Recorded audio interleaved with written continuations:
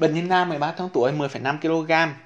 Triệu chứng là ho, khó khè, nước mũi màu xanh, ói sau khi ho, chẩn đoán là viêm phế quản cấp. Thuốc được sử dụng là amoxicillin aciclovir 250 trên 31,25 mg một gói nhân hai lần một ngày. Sambutamol 2 mg 1,4 viên trên một lần nhân 3 lần một ngày. Lactobacillus acidophilus 1,2 gói nhân 2 lần một ngày uống cách kháng sinh 2 giờ và domperidone 1 mg trên ml mỗi lần uống là 2 ml trên một lần và số lần uống trong ngày là 3 lần.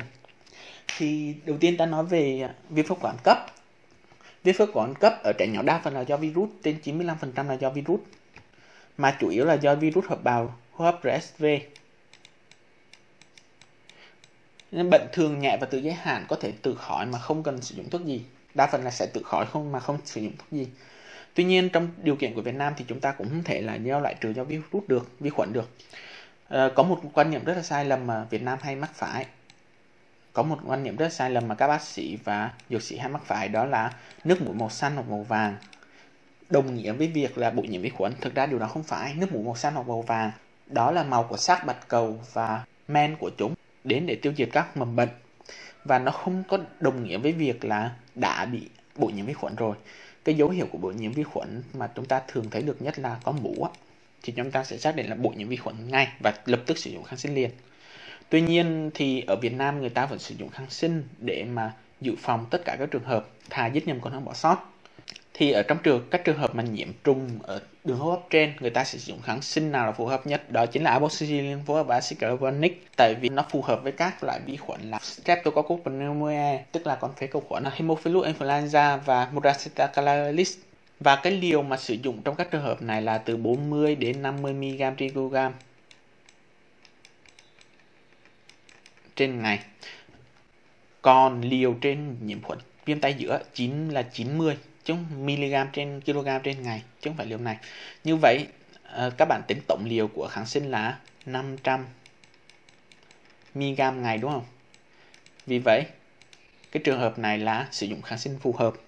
Tuy nhiên, kháng sinh có một nhược điểm của nó là nó gây tiêu chảy amoxicillin phối hợp với gây tiêu chảy gấp 3 lần so với amoxicillin thông thường nếu mà tiêu chảy trong vòng 48 giờ trong khi sử dụng kháng sinh, thì chúng ta có thể nghĩ đến cái việc mà tiêu chảy do sclavonic nhiều hơn. Còn nếu tiêu chảy sau 48 giờ sau khi sử dụng kháng sinh thì chúng ta có thể nghĩ đến chuyện là loạn khuẩn ruột nhiều hơn. Đối với tiêu chảy do loạn khuẩn ruột thì chúng ta có thể sử dụng một số loại menvicin nhưng mà tiêu chảy do acid carbonic thì không thể làm giảm tiêu chảy bằng medicine được, mà chúng ta phải dùng các thuốc cầm tiêu chảy như loperamide. Tuy nhiên, bệnh nhân 13 tháng tuổi có chống chỉ định với hầu hết, nếu không muốn nói là tất cả các thuốc cầm tiêu chảy những kháng sinh mà không có tác dụng là kích thích nhu động ruột giống như là acid clavanic hoặc là erythromycin và có phổ hẹp hơn giống như cephalexin thì sẽ ít khả năng gây tiêu chảy hơn mình nói đến kho khe này. Kho khe trong viêm tiểu phế quản là do phù nề và tăng tiết dịch chứ không phải là do các thắt cơ trơn, nên salbutamol hầu như không có tác dụng nhiều trong việc giảm kho khe.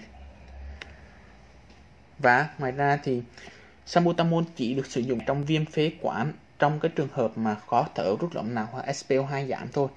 Và những trường hợp này chúng ta sẽ sử dụng như thế nào? Đó là khí dung salbutamol 3 lần liêm tắc sau đó đánh giá lại. Nếu có đáp ứng thì tiếp tục khí dung sau 4 đến 6 giờ một lần. Nếu không thì ngưng hẳn luôn còn đường uống thì nhiều tác phụ phụ mà hiệu quả chỉ bằng 1 phần 10 so với đường khí dung thôi. Cho nên trường hợp này sử dụng sabutamol là không hợp lý lắm. Còn menvicin thì sao? Menvicin Đối với tiêu chảy ở trẻ em do rotavirus thì chỉ có một số loại medicine đã được chứng minh là khả năng giảm tiêu chảy thôi như Lactobacillus reuteri, Lactobacillus rhamnosus và Menvicin Saccharomyces boulardii. Còn tiêu chảy do kháng sinh thì chúng ta sẽ có những một số loại như Saccharomyces boulardii và một số chủng Lactobacillus có thể hoạt động.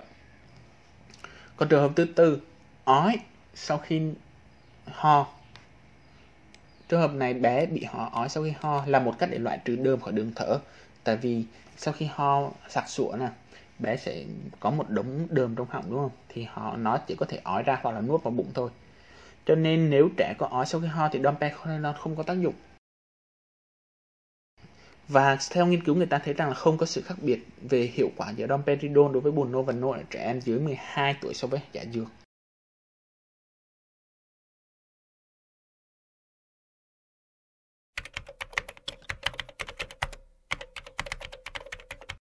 Cho nên trường hợp này sử dụng domperidone là không thích hợp.